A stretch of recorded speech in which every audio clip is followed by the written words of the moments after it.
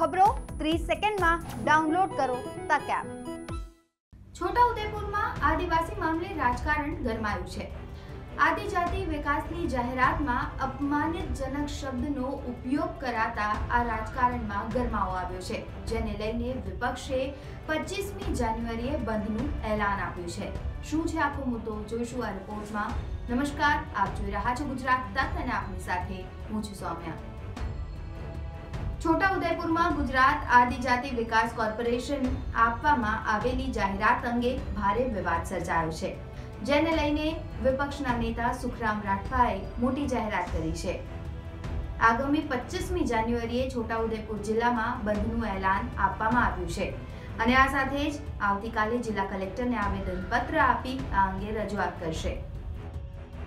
ગુજરાત રાજ્યમાં અત્યારે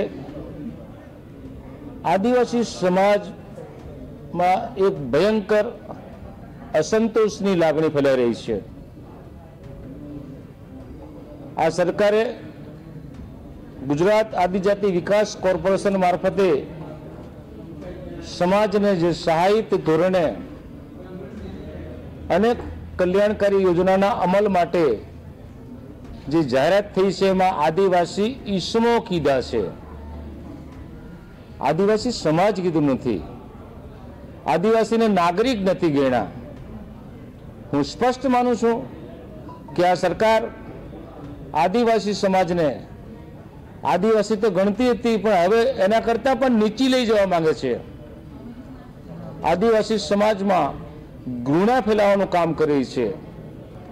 આદિવાસી સમાજને આ સરકારે વનવાસી કીધા, અગાઉ ટ્રાઇબલ કીધા પાછળથી આદિવાસી, અનુસૂચિત જનજાતિ અને હવે ઈસમો કહેવા માટે કોના ઇશારે કરી રહ્યા છે ઈસમો? આ ઈસમો શબ્દની ખો, શોધ કોણે કરી? આ ઈસમો કહેવા પાછળનું કારણ શું છે? મને તો એવું દેખાઈ રહ્યું છે કે આદિવાસી સમાજને પોલીસના દંડાથી બીવડાવીને પોલીસ એની તપાસ ચાલતી હોય, કામગીરી કરતી હોય, ત્યારે એના પત્રમાં, એના જવાબમાં ઈસમો લખે છે. અને એવો જ ઈસમો લખવાનું કામ ફોરેસ્ટ ખાતાના માણસો. કોઈક જંગલ કપાયું, શાકનું લાકડું કપાયું હોય, તો કોઈક હરામખોર ઈસમ શબ્દ લખે છે. એટલે આ ઈસમ શબ્દ ઉપયોગ કરીને આદિવાસીઓને ઉશ્કેરવાનું કામ કરી અને આ આદિવાસી આમાં રિએક્શન કેટલું આવે છે? એ રિએક્શન જાણવા માટે પ્રયત્ન થઈ રહ્યો છે. તો જેમ જેમ વિધાનસભાની ચૂંટણી નજીક આવી રહી છે તેમજ ગુજરાતમાં રાજકારણ ગરમાવા લાગ્યું છે અને રોજે કંઈક નવા મુદ્દાઓ સાથે ગુજરાતનું રાજકારણ કંઈક અલગ જ દિશામાં જતું જોવા મળી રહ્યું છે. આ રિપોર્ટમાં બસ આટલું જ. નમસ્કાર.